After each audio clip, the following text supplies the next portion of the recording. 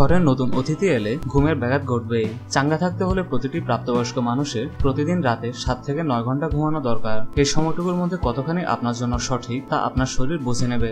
চিকিৎসকদের মতে, গড়ে আট ঘণ্টা নিশ্চিন্তে ঘুমালে মস্তিষ্ক সচল থাকে। এর চেয়ে কম ঘুমিয়েও থাকা যাবে অবশ্যই, তবে আপনার দেহ মন ঠিকমতো কাজ করবে না। বাচ্চা যখন ঘুমাবে, তখনই ঘুমিয়ে নিন। এই পরামর্শ সবাই দেয়। তবে চিকিৎসকদের মতে, ঘুমের সময় ঘুমানো উচিত। দিনের বেলা একটু গড়িয়ে নিতে চাইলে তা করতে হবে দুপুর তিনটা বাজার আগে তবে হালকা ঘুম যেন বিশ মিনিটের বেশি না হয়, কারণ দিনের বেলা বেশি ঘুমালে রাতে ঘুমাতে অসুবিধা হবে। আর এতে ঘুমের সমস্যা আরও প্রকট হতে পারে।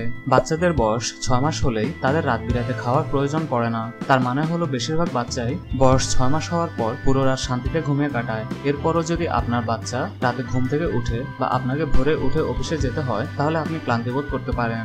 ঘুমোতে যাওয়ার আগে কুসুম গরম পানি দিয়ে গোসল করে নিন। খেয়াল রাখুন আপনার বেডরুমের তাপমাত্রা যেন খুব বেশি গরম কিংবা বেশি ঠান্ডা না হয়। ঘুমানোর আগে ক্যাফেনযুক্ত পানিও খাবেন না। আর যাবতীয় দুশ্চিন্তাকে সরিয়ে রাখুন। অনেকক্ষণ চেষ্টা করেও ঘুম না আসলে উঠে পড়ুন। তাহলে শরীর অনিদ্রার সঙ্গে বিছানার সম্পর্ক তৈরি করে নেবে না। নবজাতকের বাবা মায়ের ঘুমের সমস্যা হওয়াটাই স্বাভাবিক। প্রথম তিন মাস বাচ্চারা রাতে বারবার ঘুম ভাঙাবে, এটি স্বাভাবিক। বিশেষ করে যদি বাচ্চাকে বুকের দুধ খাওয়ানো হয়। তবে ওই সময়টুকু পার হওয়ার পরও যদি ঘুমের সমস্যা থাকে, তাহলে চিকিৎসকের পরামর্শ নিতে পারেন। ঘুমের অভাবে হওয়া ক্লান্তি দূর করার কোনো জাদুকরী সমাধান নেই। আপনার বাচ্চা ঘুমানোর সময় কি কাউকে পাশে থাকতে হয়, যাতে সে বারবার ঘুম থেকে উঠে না যায়? সেক্ষেত্রে বাড়তি কোনো আত্মীয় স্বজন রয়েছে কিনা, যারা বাচ্চাকে কিছু সময় দেখতে পারবেন।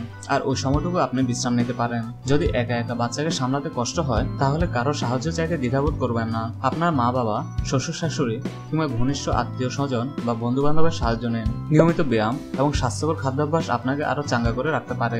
চিকিৎসকরা বলেন, নতুন বাবা মায়ের মানসিকভাবে প্রস্তুত থাকা উচিত যে, বাচ্চার জন্য তাদের বারবার ঘুম থেকে উঠতে হতে পারে এবং ঘুম কম হবে। ক্লান্তি নিয়ে তাদের আতঙ্কিত হওয়া উচিত নয়। ঘুমানোর জন্য যতটুকু সময় পাবেন। চেষ্টা করুন তা কাজে লাগানোর। মনে রাখবেন, এই সমস্যা শুধু কয়েক মাসের জন্যই।